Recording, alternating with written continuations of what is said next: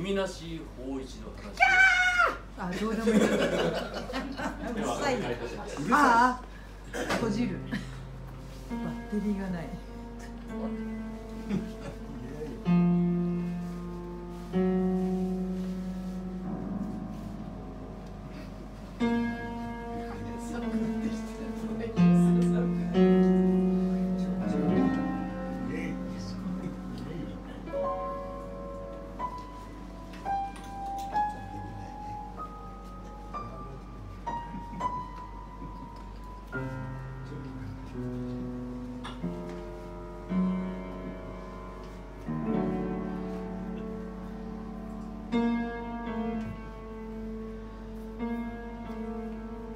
何百年か前赤間関に琵琶の弾き語りの巧みなことで知られた法一という名の盲目の男が住んでいた。琵琶法師を生りとする者としては主に平家と源氏の歴史を読むことで名を馳せ語られる壇ノ浦の合戦の下りは鬼神でさえ涙をこらえることかなわなかったと言われている。若者の素晴らしい技に大きく感じ入った阿弥陀寺の住職は法一を寺に住まわせることにした。ある夏の夜住職は法要を営むため呼び出され寺には法一一人がされた。それは蒸し暑い夜で真夜中過ぎても住職は戻らない。部屋の中は休むには暑すぎて法一は縁側で時を過ごした。そのうち足音が裏門から近づくのを聞いた。誰かが庭を横切り縁側へ進みまっすぐ正面に来て止まったがしかし住職ではなかった。不意に太い声が名を呼んだ。法一再び命令長の声が法一はい。私は目が見えません。どなたですか？恐れることはないわしの使える殿様はかなり身分の高いお方でこの地に滞在していらっしゃる。壇の浦の戦の話を語るお前の技を耳にされ今すぐ見たいとご所望じゃ。今すぐ屋敷までついてまいれ。侍の命令に法一は琵琶を携えてか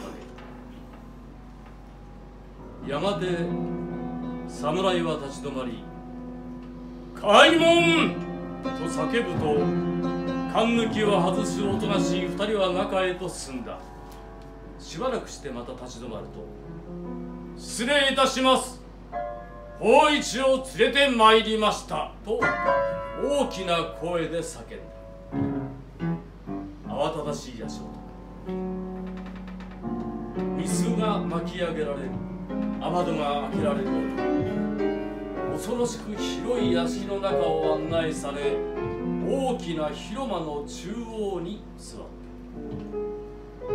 法一は落ち着くように自分自身に言い聞かせた。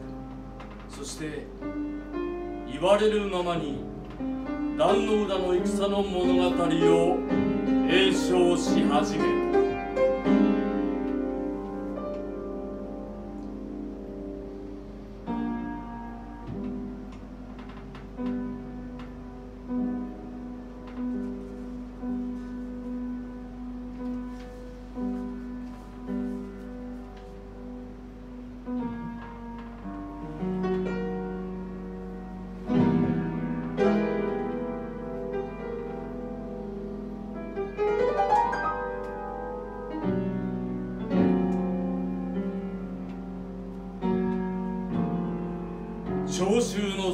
がじっと聞き入りやがて悲痛な鳴き声を上げつ光一が琵琶を弾き終わっても長い沈黙が続く。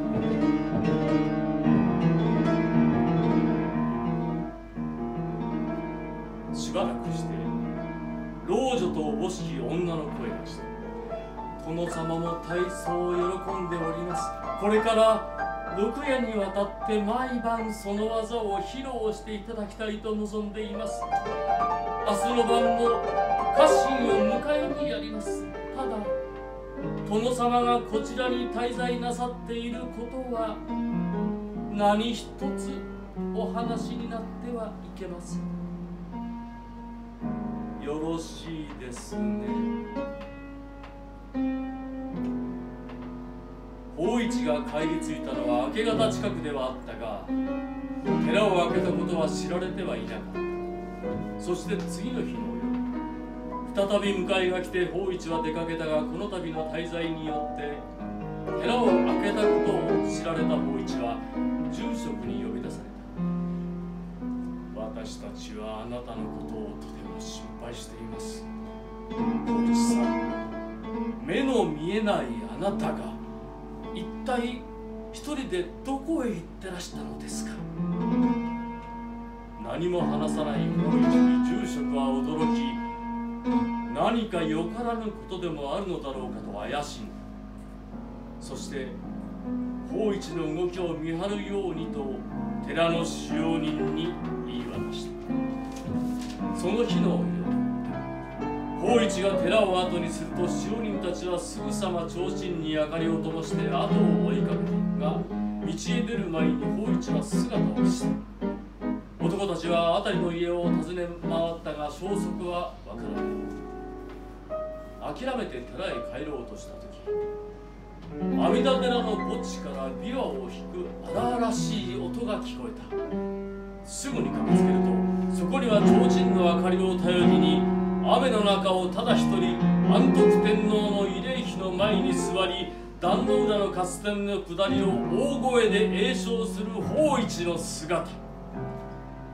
そして周囲の至る所に死人の炎の群れが燃えていた。使用人たちはすぐに法一を抱え寺へ連れ戻した。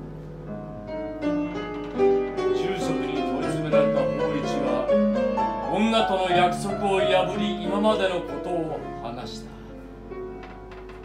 法一さんなんと気の毒な。今は恐ろしく危険な状態にあります。あなたは毎晩墓場の平家の墓石に囲まれて夜を過ごしていたのです。このままではいずれ取り取り殺されるでしょう。今夜は用事があってそばについていてあげられません。しかし身を守るために必要なありがたい文字をその体に書きつけておきましょう。そして法一の体の隅々に般若心経を書き写した。いいですか。何が起ころうと返事をしても動いてもなりません。もし少しでも動くか音を立てればあなたの命はないでしょう法一は言われた通り何時間も縁側に座り続けたやがて近づく足音を聞いて「法一!」とい声が呼びかけた二度目は厳しい口調で呼びかけた「法一!」法一は石のように微動だにしない。返事がない。奴がいずこにいるのか見極めはならん。男がゆっくり近づいてくる。法一は心臓の鼓動が全身を震わせるのを感じた。やがて間近で声が聞こえた琵琶法師はなるほど。耳二つだけだ。返事をする口がない耳の他に何も残っていないなら殿様のためこの二つの耳を取ろう。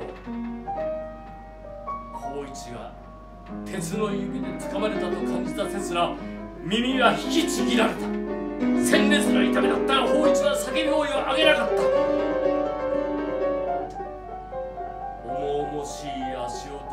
遠ざかり。そしてやった。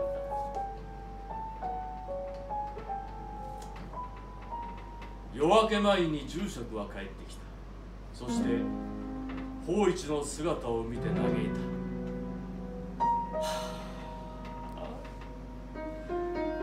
た、すべては私の過ちです。体の至る所にありがたい文字を書きました。しかし耳は耳にはしていませんでした。どうか許してください。でも危機は去ったのです。もう二度と再び奴らがやってくることはないでしょう。メイが治療に当たったため法一はすぐに怪我から回復した。